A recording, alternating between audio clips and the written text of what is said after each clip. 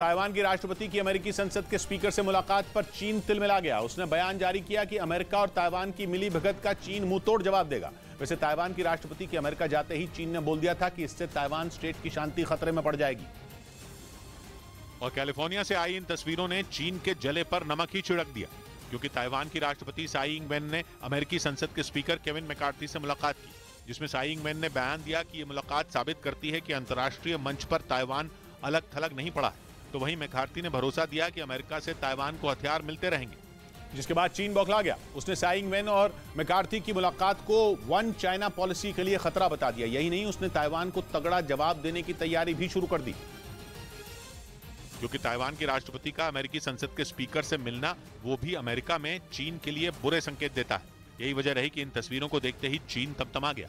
उसने कुछ ही घंटों बाद बयान जारी कर दिया, जिसमें चीन के विदेश मंत्रालय ने बयान दिया कि अमेरिका और ताइवान की मिली भगत से जो गलत काम होगा, चीन उसका जवाब देगा और अपनी संप्रभुता और क्षेत्रीय अखंडता की रक्षा करेगा। यही नहीं, एक तरफ़ साइंग मैन ने अमेरिका में कदम रखा और दूसरी तरफ़ चीन ने ईस्ट चाइना सी में युद्ध अभ्यास शुरू कर दिया।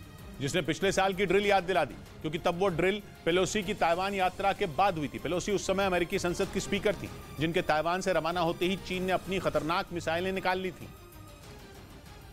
और ताइवान की घेरेबंदी कर दी थी। उस समय साउथ चाइना सी की हालत देखकर लगा था कि जंग कभी भी शुरू हो सकती है, क्योंकि चीन ने ताइवान को छह तरफ़ से घेर रखा था और उसकी सीमा के पास खतरनाक मिसाइलें दाग रहा था।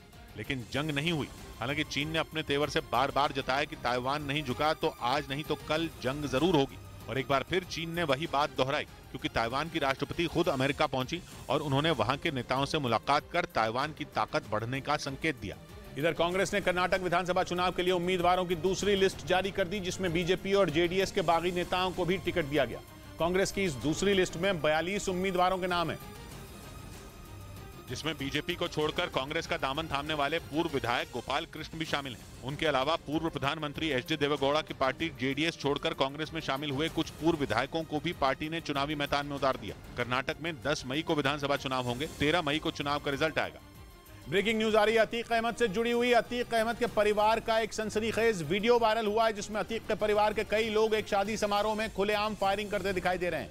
दावा किया जा रहा है कि इस वीडियो में न सिर्फ़ अतीक का भाई अशरफ है, बल्कि उसका बेटा भी हवा में गोलियाँ दाग रहा है। ये वीडियो करीब सात साल पुराना बताया जा रहा है, जिसमें अतीक अहमद के परिवार के कुछ लोग खुलेआम फायरिंग करते नज़र आए। दावा है कि करीब ढाई मिनट के इस वीडियो में अतीक के परिवार वालों ने सौ से ज़्यादा गोलियाँ चलाई। जिसकी वजह से वो पूरा इलाका थर्रा उठा। किसी शादी समारोह के इस वीडियो में इतनी गोलियाँ चली, जिन्हें सुनकर लगा मानो किसी ने पटाखों में आग लगा दी हो।